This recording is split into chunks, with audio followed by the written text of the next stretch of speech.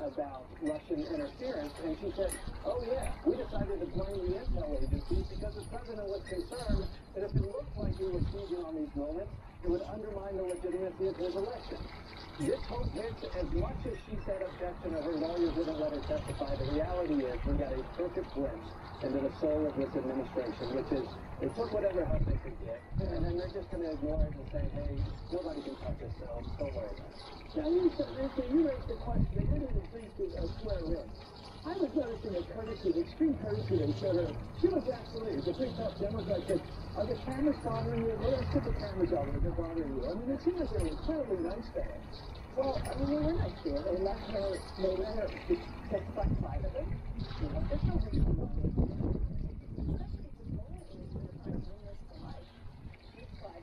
to sworn.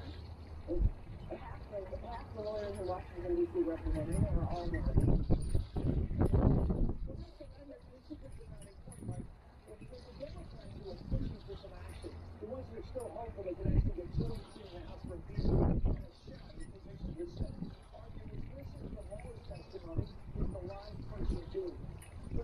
And, you know, it sounds like if they're going to get McDonald and have testify, the testimony who did hear the president say, fire, uh, fire Mueller. He knows that that's something that's kind of like they want. They don't do it in vacuum. Hey, we'll get the, a pile of people to do it. And once again, more time. Was deferential to vote just because they needed to get somebody in.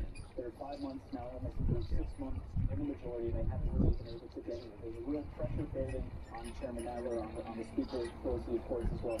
My understanding on reporting is that they do still have some hope of bringing Mueller in.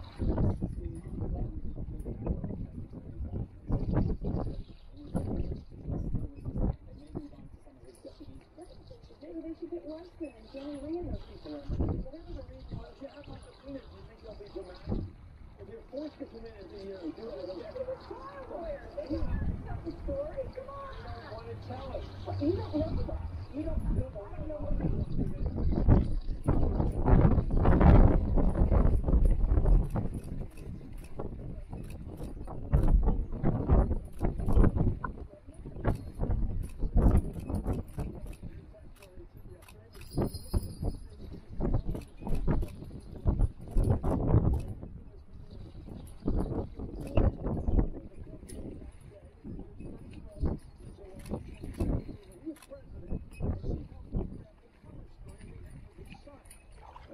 Mueller report, rejected the initial draft of the thing because he said it said too much about the author of Russian good on